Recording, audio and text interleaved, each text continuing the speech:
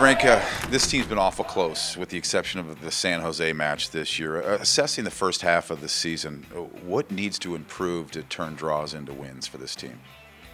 Well, I think of we sort of said it. I've said it from the start. It's seen a 90-minute game out. I think we've been punished late in games and, and not not been a full 90-minute professional performance in, in, in, most of the games. Um, so that's the thing we keep focusing on. You know, we've you know you're going to lose games in our in our league, but I think the big thing for us is making sure that we have a performance that will get us wins. And I think um, I've seen more signs of that. Taking the San Jose game out of that, um, I thought the Philadelphia game at home we we should have won that game, um, but we didn't. We tied it again. Um, so frustrating still, but you know, hopefully the signs are there other than the San Jose game, so we've got to put that behind us.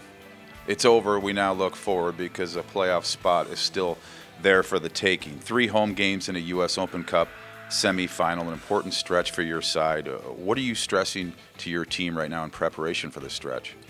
Well, I mean, you know, we just we just got to put the put the put the ties in the wins, and I think that um, again, the performance, if it's there, we'll, we can win games. We just got to make sure that we switched on for that 90 minutes of, of the game. And I think it's, you know, we've, we've basically, if you look, most of our goals are our mistakes.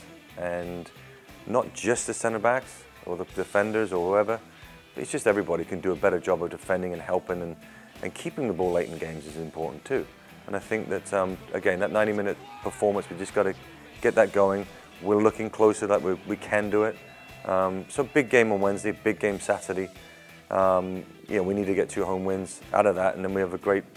Um, we look forward to the rest of the season then.